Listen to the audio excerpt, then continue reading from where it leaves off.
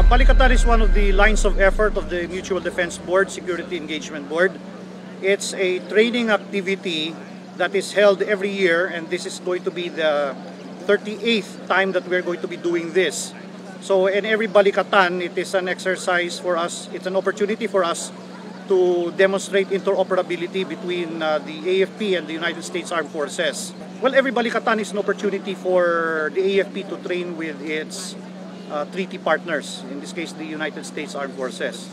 So every time we train together, we are rehearsing a command and control uh, concept or construct that uh, allows us to operate joint uh, combined in an, uh, at the operational level.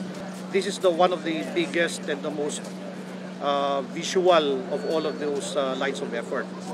And it actually advances uh, our alliance and strengthens the bond between our two nations.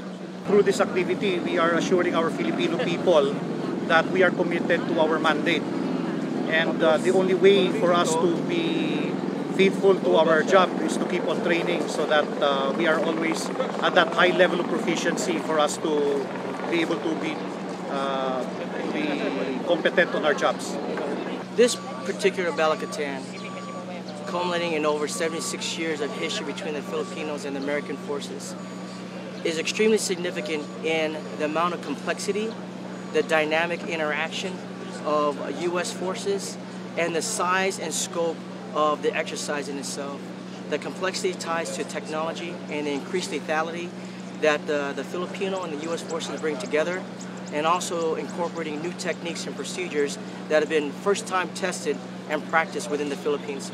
Uh, the culmination of this combined joint live fire exercise really encompasses the cementing of the bond and the relationship between the U.S. and the Filipino uh, country.